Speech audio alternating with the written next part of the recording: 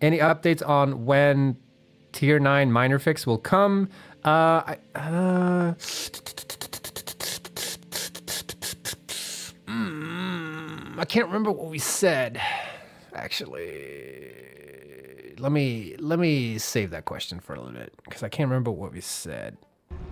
I want to check something real quick because I want to respond to that question about the miner because I wonder if we've. i am going to check this. Uh, uh, what's the archive site again? I can't remember the. What the link is. Because it might be there. Oh, it's archive.satisfactory. That's easy.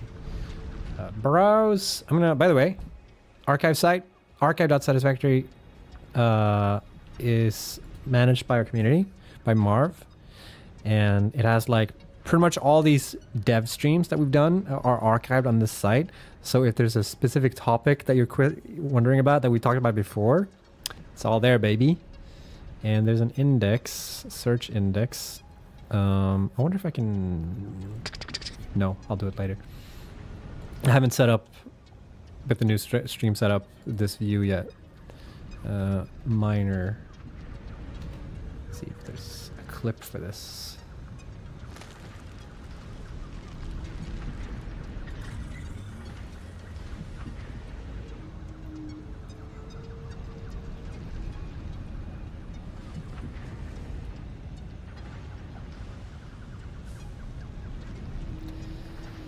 Do do do do do reading reading reading.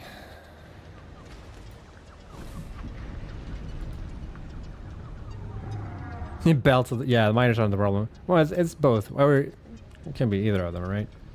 Uh, and I guess I'll, I'll just yeah, updates on the miner thing. So, so the question is, any updates on the uh, tier three miner, or yeah, the the Mark three miner? Uh, I the answer we've given is that we we have a solution for it, but we're not going to say what it is. We have a solution. Uh, it's possible it comes in 1.0. I'm not too sure actually. It might come earlier, but there is a solution to it. But you'll have to wait to see what it is.